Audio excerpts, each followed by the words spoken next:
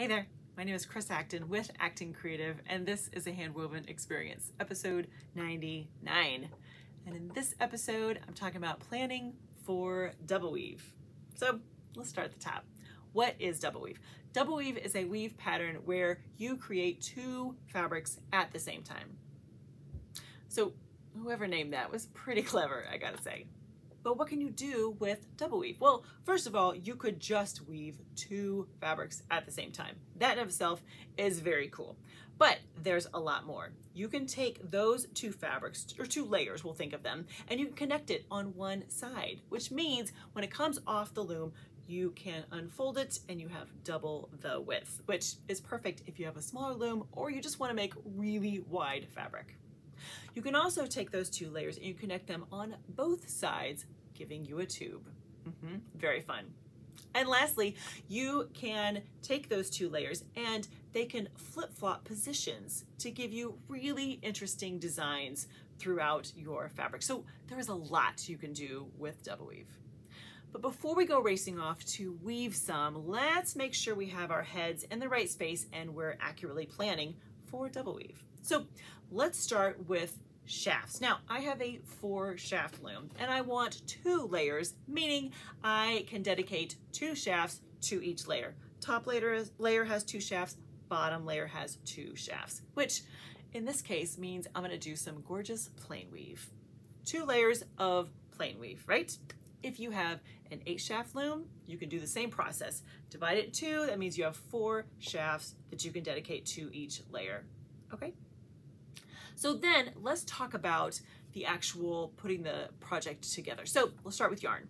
I am using my favorite yarn, which is a uh, carpet warp or rug warp. It's a cotton. And when I do plain weave with this yarn, I set it at 12 ends per inch. So I want my top layer to be 12 ends per inch, right?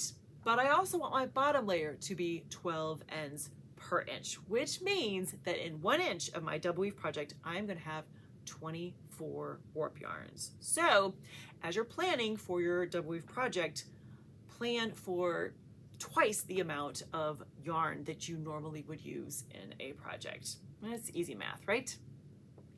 Okay, so if you've never done a double weave project before, here is what I would recommend. I would recommend having two very different layers. So for instance, your top layer is orange and your bottom layer is blue. Just, it's just gonna be a really nice visual to keep it straight because it does make you uh, work your brain just a little bit. So if it's your first one, pick something small and give it a go, but try it with two distinctly different colorways so that you can visually see which one goes where, okay? The other thing that I would recommend as you are threading your heddles is that uh, thread them in just a real simple straight draw. One, two, three, four, one, two, three, four. But in this case, you want your top, all those orange yarns to be on shafts one and three, and you want all those blue yarns for the bottom to be on two and four. Okay? Are you with me?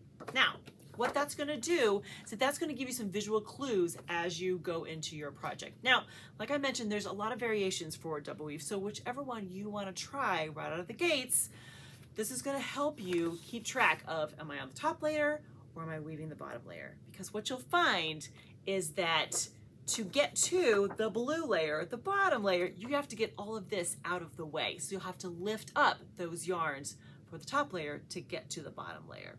Top layer is a little easier to manage. Bottom layer, you gotta kind of think that through. So those are some of my suggestions for as you're putting together the plan for your double weave project. Now, in some other videos, I'm gonna get into the actual nuts and bolts of how to weave a double weave project, whether it's a tube or a double the width, or I've got other things in mind. But I wanted to make sure that we took a minute to kind of get you in the right headspace so you can accurately plan for your double weave project. I know it's a lot and double weave takes a, takes a minute. If there's ever a project for me that makes smoke come out of my ears, it's usually double weave.